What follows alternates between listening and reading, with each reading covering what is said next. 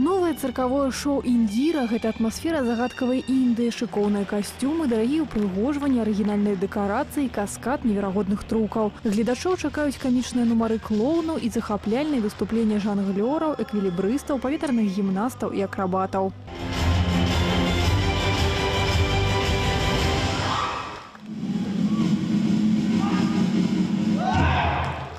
У цэнтры яскравага цыркавога дзейства індзіра экзатычныя жывёлы. Вярблюды і ламы, пумы і львы, пантэры сабакі, малпы і дзікабразы, дарослыя скакуны і карлікавыя поні, рознакадаровыя папугаі, югуар, пітон і нават кракадзіл. На манежы гомельскага цырка гэтыя чатырохлапы артысты дэманструюць публіцы свае унікальныя ўменні. Яны здзіўляюць гледачоў неверагодным спрытам і кемлівасцю.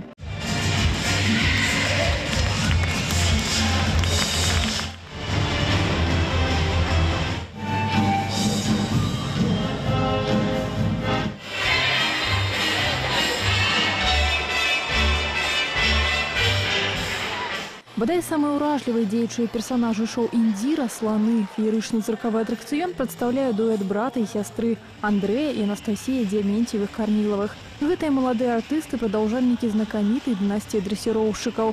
Крыху больш як 5 гадоў таму яны ўжо выступалі ў гомелі. Зараз прывезлі абсалютна новую версію захапляльнага шоу, пабудаваную адзінай сюжэтнай лініі. На манежы гомельскага цырка выключна сланы дзяўчынкі, а таму, як і належыць сапраўдным артысткам, перад выхадам на сцэну яны прайшлі шэраг касметычных процедур. Перед тем, как мы э, начали нашу премьеру, конечно, мы провели целый такой ряд процедур, мытья слонов, маникюра, педикюра, и потом только уже э, выпустили их на манеж.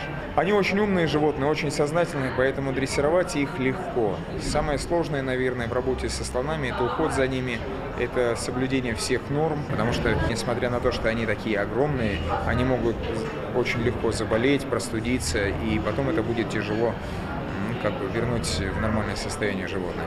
Андрей і Анастасія Дзямінцевы Карнілова выступаюць у асяроддзе чатырох слоноў. Самай юны, якую прывезлі з Китая 7 гадоў, найбольш вопытнай з Індыі 61. Яшчэ дзве артысткі ў трупе 27гадовай прыгажуні з Таіланда. Падчас шоу-праграмы гэтыя масіўныя і на першы погляд цяжкія на пад'ём жывёлы з асаблівай грацыёзнасцю і вытанчанасцю выконваюць самыя складаныя цыркавыя трукі.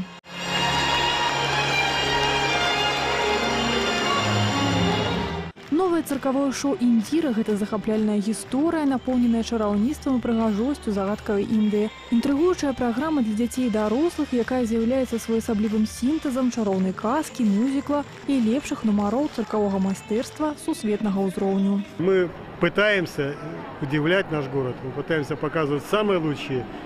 Нам кажется, что это удается, и признанием нашей работы служит то, что мы в этом году получили из рук президента э, диплом о присуждении специальной премии президента Республики Беларусь за вот, развитие, популяризацию циркового искусства.